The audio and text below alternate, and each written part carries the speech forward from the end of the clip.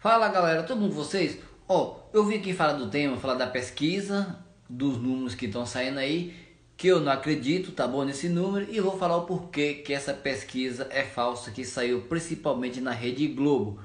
Se você também concorda, curte, compartilhe, dá sua opinião, se não concorda também dá seu nome, beleza? Olha só, por que, que eu não concordo com essa pesquisa, por que, que eu não acredito?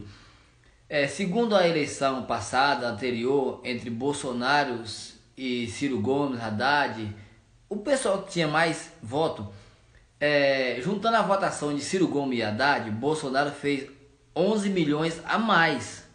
Não foi 11 milhões. Em relação à votação que Ciro Gomes e Haddad fez, Bolsonaro fez 11 milhões a mais de voto.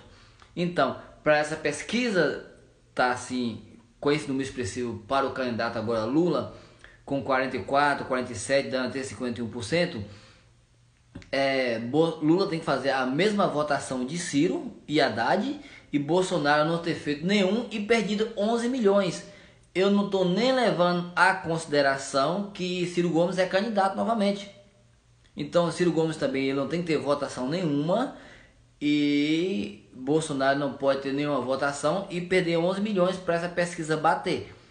Outro fator que eu não acredito também nessa pesquisa é o seguinte: essa pesquisa é o mesmo apresentador, a mesma apresentadora que na eleição passada que falaram que Bolsonaro também ia perder.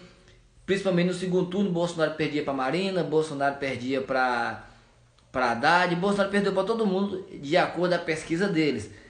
Bolsonaro ganhou no primeiro turno, foi para o segundo turno, foi eleito com a percentual de voto aí expressivo, totalmente ao contrário da pesquisa que eles pregavam.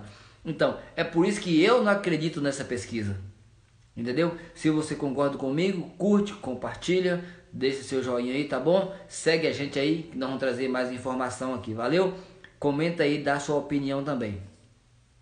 Uai, seu app de vídeos curtos.